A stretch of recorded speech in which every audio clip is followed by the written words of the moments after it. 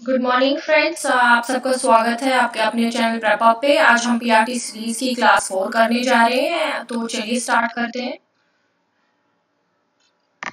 PRT series class 4. So today we'll be doing again an important topic which is very important uh, and it comes in your general science. It comes under general science and uh, it's uh, really very important और इससे भी questions पूछे जाते हैं आपके KBS के syllabus में in fact जो भी PRT का syllabus है whether it be for DSSB और it be, it be for KBS और NBS ये सब में basic topic है ये इससे questions आते हैं ठीक है तो आज का जो हमारा topic है वो है simple machines का but before we start I would like to request you that अगर आप हमारे चैनल पे हैं तो आप हमारे चैनल को सब्सक्राइब करिए ताकि आपको एन e के नोट्स ये जो हमारा लेसन है ये एन e के नोट्स पे बेस्ड है and N is really really very important when it comes to you know any teaching exam because all of the questions are uh, very basic in nature and mainly asked from NCERT books. So आज का जो topic है हमारा that simple machines. Okay.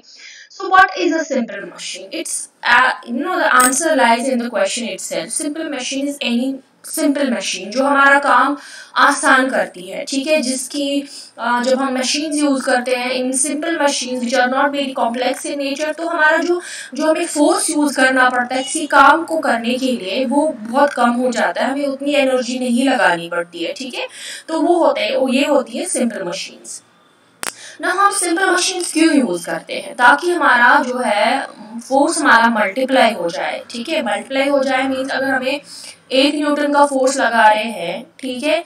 तो एक newton के force से उससे ज़्यादा लोड हम ज़्यादा से ज़्यादा हम काम कर पाए, ठीक है?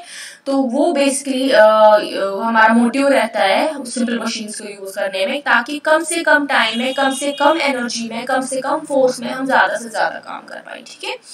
Change the direction of force force के डायरेक्शन को चेंज करने के लिए भी सिंपल मशीन यूज़ की जाती है टू इंक्रीज और decrease the speed of force force को कंट्रोल करने के लिए, उसकी स्पीड को इंक्रीज और डिक्रीज करने के लिए भी सिंपल मशीन यूज़ की जाती है। ये हमारी लाइफ को बहुत आसान बनाती है। हमारे डे टू डे लाइफ में जितनी भी एक्टिविटीज़ है, उनको बहुत ही सिंपल बनाती है। ठीक है? तो चलिए आगे बढ़ते हैं। नाउ सिंपल मशीन्स को यू नो डिटेल में जाने के लिए we need to know some terms which are related to simple machines and they can be asked in the examination so the basic three terms that we are going to discuss today is fulcrum load and effort fulcrum load and effort so the first thing effort effort जो है, जो वो force है, जो हम इस्तेमाल करते हैं अपनी एनर्जी जो हम एफर्ट लगा रहे हैं फोर्स लगा रहे हैं that's effort okay then comes the load load है जो हम काम कराना चाहते हैं, जो हमें शिफ्ट करना है, या हमें यू नो उस पर हम चाहते हैं कि ये शिफ्ट हो, कोई चीज़. Load itself is a task जो लोड इज़ अ टास्क जो हम करना चाहते हैं. ठीक है? Then comes the fulcrum fulcrum जो है दैट इज़ बेसिकली सपोर्ट जो इस उस सिंपल मशीन को सपोर्ट देता है it can be a pivot it can be a joint जो उस सिंपल मशीन को स्ट्रेंथ देता है उसका strength point that is fulcrum okay now there are three very important terms that are related to simple machines. First is mechanical advantage. What is mechanical advantage?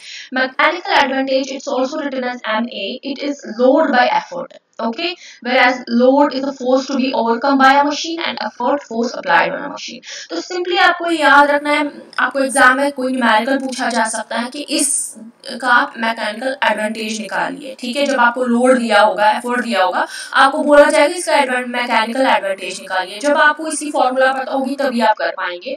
So it's load by effort okay? Then comes the velocity ratio okay? What is the velocity ratio? Velocity ratio vr stand is velocity of effort divided by velocity of load okay? Velocity of effort divided by velocity of load. So these uh, kind of numericals can be asked in the examination based on these formulas that i'm showing you right now velocity ratio इसको displacement of load by और इसको ऐसे भी displacement of load divide by displacement of effort तो ये ऐसे भी आप इसको कैलकुलेट कर सकते हैं। Efficiency now what is efficiency it's work output by work input आपने कितना इनपुट लगाया और आपको आउटपुट क्या मिला? इन दोनों का रेशियो होता है एफिशिएंसी और work done on the load और work done by the effort ठीक है? एफर्ट हमें कितना निकाला फिर हम उसको आउटकम क्या मिला दैट इज़ योर एफिशिएंसी तो आई एम श्योर दैट आपको ये तीनों चीज़ें समझ आ गई होंगी which are related to simple machines and questions are there are chances that questions can be asked to calculate any three of these moving on now classification of simple machine simple machine को हम कैसे classify करते हैं how do we classify them okay now simple machines are basically you know they are classified into two families one is liver family and the other one is inclined plane family okay the one is in uh, liver family and the other one is inclined plane family now liver family कौन कौन उसमें कौन कौन से आते हैं उसमें simple liver आती है पुल्ले आता है व्हील एंड एक्सल आते हैं। इसमें तीन आते हैं लिवर पुल्ले एंड एक्सल ठीक है व्हील एंड एक्सल और इंक्लाइन प्लेन में आपका वेज और स्क्रू आ जाता है, ठीक है? वेज और स्क्रू आपका इंक्लाइन प्लेन में आता है, जबकि आपका लिवर पुले और व्हील एंड एक्सल आपका लिवर फैमिली में आते हैं, ठीक है? तो ये भी एग्ज़ाम में ये भी क्वेश्चन आ सकता है। आप बोलिए वेज किस तरह की सिंपल मशीन है? ये इंक्लाइन प्लेन है या ये लिवर है? तो उस हिसाब से आपका आंसर होना चाहिए। ये इंक्लाइन प्लेन है। स्क्रू किस तरह की सिंपल मशीन है? ये जी लिवर है या इंक्लाइन प्लेन फैमिली में आता है तो आपका आंसर सिंपली होना चाहिए। Incline plane family then it they can ask about pulley okay play does it come under inclined plane family or it comes under liver family so your answer should be liver family so this is the classification that we do of simple machines then moving on these are some of the pictures that i have got for you uh, this is the liver liver कोई भी rod हो सकती है rod जैसी कोई you know machine होती है simple machine होती है व्हील एंड एक्सल जिसमें दो व्हील्स होते हैं बीच में एक्सल होता है वेज अगेन आपका इंक्लाइन प्लेन का एक ये है classification and then pulley pulley comes under lever इसमें एक रोप अटैच होती है एक व्हील के साथ, जो आपको बहुत आपने देखा होगा। कुएँ जो होते हैं वेल्स जो होते हैं, इसी से आप पानी यू नो भरते हो। स्क्रू स्क्रू अगेन कितना इंपॉर्टेंट है, हर एक चीज़ में स्क्रू तो लगता ही है। देन इंक्लाइन प्लेन आपने देखा, और ट्रक में जब भी कोई अनलोडिंग होती है तो आपको पता है कि ट्रक का जो पिछले वाला हिस्सा होता है, उसको ऐसे इंक्लाइन प्लेन बनाते हैं ताकि अनलोडिंग इजी हो तो incline plane is again this kind of thing so ये आपके सामने कुछ पिक्चर्स हैं सिंपल मशीन्स की, और इसके बेसिस पे आपको समझ आएगा कि सिंपल मशीन्स क्या होती है। मूविंग ऑन ना सिंपल मशीन्स जो होती है, जो लिवर होते हैं, उसमें बेसिकली लिवर इसमें बहुत सारे क्वेश्चन पूछे जाते हैं, जो लिवर होती है वो तीन तरह की होती है। First class lever second class lever and third class lever okay तो लिवर्स को lever again is classified into three categories. First class liver second class liver and third class liver now, the first class liver इसमें जो होता है fulcrum बीच में होता है। Effort यहाँ से होता है फोर्स फोर्स और जो लोड होता है, वो दो साइड से होते हैं। ऑन आइदर साइड्स एंड बीच में फालक्रम होता है, ठीक है? इसमें से भी क्वेश्चन पूछा जाता है कि फ़र्स्ट क्लास लिवर में फालक्रम कहाँ पे होता है? उसकी पोजिशन कहाँ पे होती है? तो your answer should be fulcrum is in between load and effort okay now जो हमारा फ़र्स्ट क्लास लेवल होता है, इसमें एम ए एम कैसे कैलकुलेट कर सकते हैं? मैकेनिकल एडवांटेज को हम फ़र्स्ट क्लास लेवल में कैसे कैलकुलेट कर सकते हैं? For effort arm by load arm ठीक है? Now some of the examples of first class lever is scissors handle of water pump catapult nodding of the human head. Nodding of the human head is, again a first class liver example of first class liver okay? Now, these are some of the examples of first class liver आपको पूछे जा सकते हैं हाँ जी, ये जी, ये ये machines हैं। इसमें आप बोलिए फ़र्स्ट क्लास लिवर कौन सी है सेकंड क्लास कौन सी है थर्ड क्लास कौन सी है, ठीक है? तो मैं आपको ये थोड़ा सा और सिंपल बनाने के लिए जो फ़र्स्ट क्लास लिवर्स होती है फॉर एग्ज़ाम्पल हमने सीजर्स लिए हैं यहाँ पे, ठीक है? So, these are the scissors. You can say the fulcrum the basic pivot or the joint that supports uh, you know that uh, that supports the machine is in the in the middle. That's the fulcrum is here.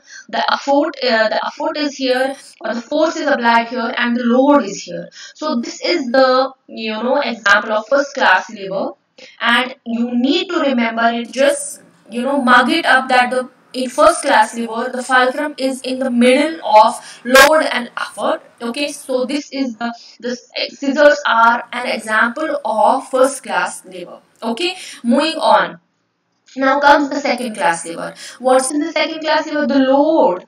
The load is you know in between force and fulcrum कालक्रम जो होता है side में होता है load बीच में होता है and effort is here so the load is in between effort and fulcrum you can see you here you can see the example okay so this is a wheelbarrow okay so what is happening is that fulcrum the point the support system is here fulcrum is here the load is here and the force is applied here by this man okay so by this example you will get to know that how it works okay now in a uh, ma and vr are always more than one. Now in second class of lever mechanical advantage and VR velocity ratio they are always more than 1 okay in the second class lever the fulcrum is found after or the uh, after or the uh, other side of the load away from the applied force so fulcrum जो होता है बिल्कुल ही force applied से बहुत दूर होता है और load बीच में होता है some of the examples of second class of lever are bottle opener wheelbarrow and paper cutter okay so these are some of the examples of second class of lever and you need to remember it that load is in between effort and Moving on. Now, this is again a nutcracker, okay? It's an example of a second class lever. You can see here uh, the load okay the nut which is to be cracked okay it's in the middle. That's the load. The fulcrum is here and the effort is applied here. Okay so nutcracker is again an example of second class of lever effort is here. The load is in between the fulcrum and effort. You can see it here and the fulcrum. The basic support system is here. Okay so this was again an example of second class of lever moving on now comes the third class of lever okay the third in the third class of lever what happens is that you know force. The effort is in between the fulcrum and the load. The effort is between the fulcrum and the load. Okay. Some of the examples of third class of lever are sugar tongs, foot treadle and spade. Again, this can be asked in the example. Okay. Spade is an example of which class of lever? So, your answer should be third class of lever. Okay and in uh, third class of lever MA and VR are always less than 1 okay and mechanical advantage and velocity ratio they are always less than 1 moving on now the third class see guys our arm you can see the arm the arm human arm is also an example of third class of lever because the effort is, for example when we any load जब हम कोई load उठाते हैं ठीक है कोई load हमें काम करना है this joint it acts as a fulcrum. This joint acts as a, the elbow joint, it acts as a fulcrum.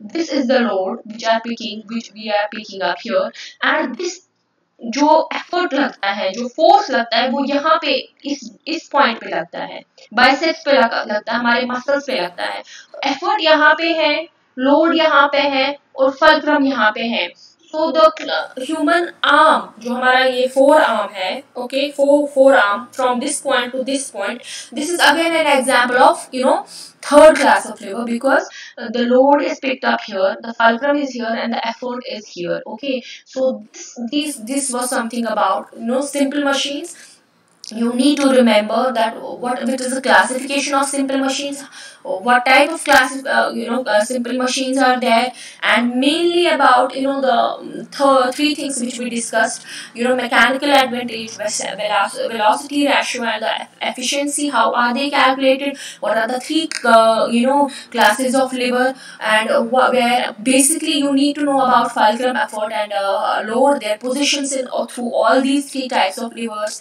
and the examples okay? Mainly the question can come from examples or also for example scissors. Scissors which type of uh, lever is it your answer should be first class of lever okay? So similarly uh, questions can be asked and that was all for today. Hope you have got this and you have enjoyed it and you have understood it well. If you have any questions any queries regarding the lesson or you have any suggestions regarding the videos please do comment okay? Because your comments are really very important for us. And thank you so much for watching the video. Take care of yourself take care of your family. Have a good day. Thank you. Thank you for your time